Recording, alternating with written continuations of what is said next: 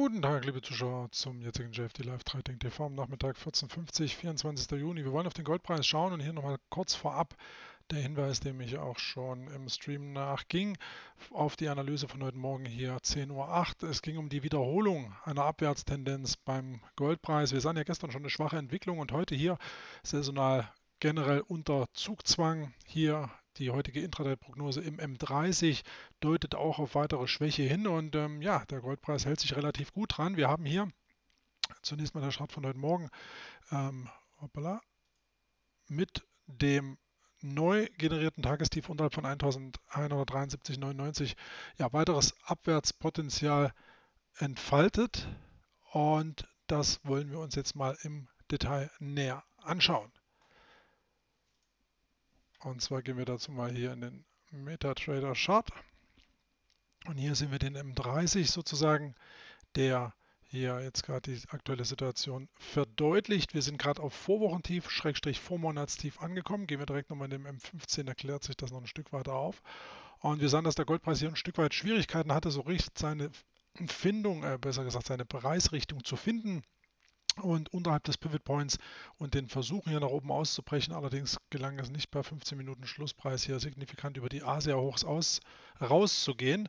Und dann geschah eben das, dass der Preis sich wieder ein Stück weit schwächer entwickelte. Und ja, jetzt vor kurzem, vor wenigen Minuten, gab es nochmal den richtigen Durchbruch nach unten.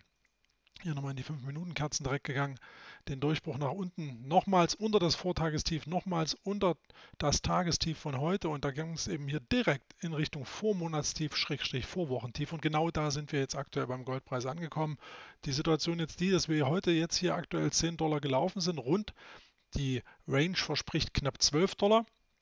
Sehen Sie hier 12 Dollar mit Sicht auf die letzten 14 Tage, also im Bereich um 12 Dollar. Das heißt, im Prinzip ist hier relativ viel Pulver verschossen nach unten. Wenn wir neue Tagestiefs machen, dürfte hier der Preis bei 1168-1169 Punkten seinen Halt finden für heute. Also das große Momentum ist rein statistisch absolviert worden, rein statistisch gelaufen. Der Goldpreis hat hier im Prinzip seine Range nach unten abgearbeitet und jetzt wird es eben spannend sein, wie er heute aus dem Handel geht. Vor Wochen tief, vor Monatstief, das sind wichtige Levels. Wenn wir hier also unter 1170 aus dem Handel gehen sollten heute, dann wäre das rein technisch gesehen durchaus ein negatives Signal.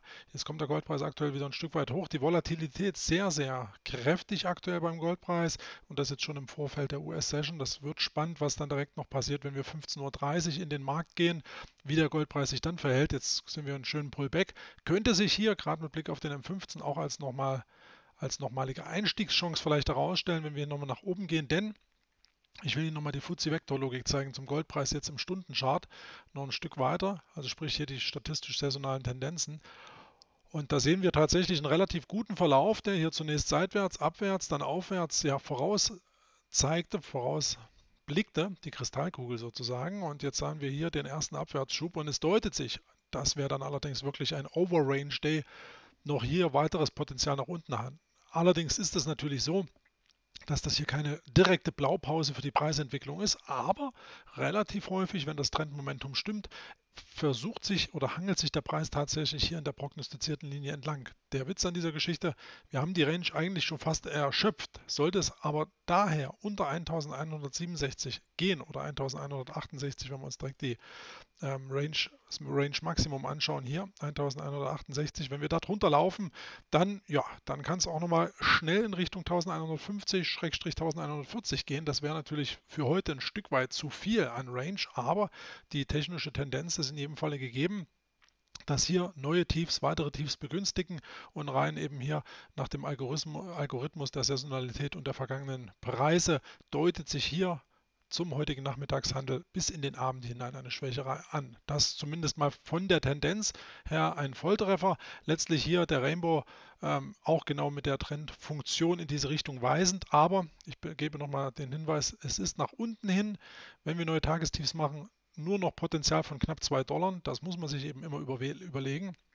Wenn der Goldpreis natürlich jetzt hier nochmal ein Stück an das Vortagestief rangeht, beziehungsweise hier an das just durchbrochene Tagestief 1173,99 rund, dann könnte man hier, wenn eine negative Kerze kommt, ein kleiner Shooting Star oder auch andere Signalvarianten, dann ist es sicherlich denkbar, dass man hier nochmal mit einem relativ engen Stopp einsteigt, um die Tagesrange abzuschöpfen. Genau das hat der Goldpreis ja gestern auch noch mit Bravour gemacht, auf die letzten Handelsstunden am späten Nachmittag. Praktisch dann hier die Richtung oder den Weg in Richtung Süden eingeschlagen, um die Range eben auszuschöpfen. Schöpfen und das Potenzial hat er auf jeden Fall noch hier Richtung 1168 zu fallen. Die Frage ist eben dann, wie er aus dem Handel geht. Deswegen wird das heute von hohem Interesse sein. Wir werden das sicherlich morgen nochmal in einer exklusiven Analyse bewerten, wie es denn hier auch auf Tagesbasis um den Goldpreis bestellt ist. Aber das mal zur aktuellen Beschau wäre es das schon gewesen zum jetzigen Blick auf den Goldpreis. Neues, Tagetief, neues Tagestief ist erfolgt.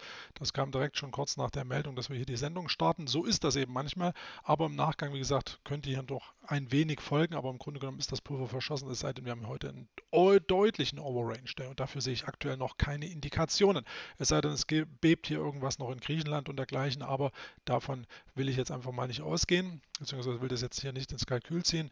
Insofern, wenn Sie mögen, gleich noch das JFD Devisenradar, eine Stunde Webinar rund um Devisen. Wenn Sie mögen, können Sie sich da kostenlos auf der Godmore Trader Seite, Schrägstrich auf der Live-Event-Seite bei JFD eintragen.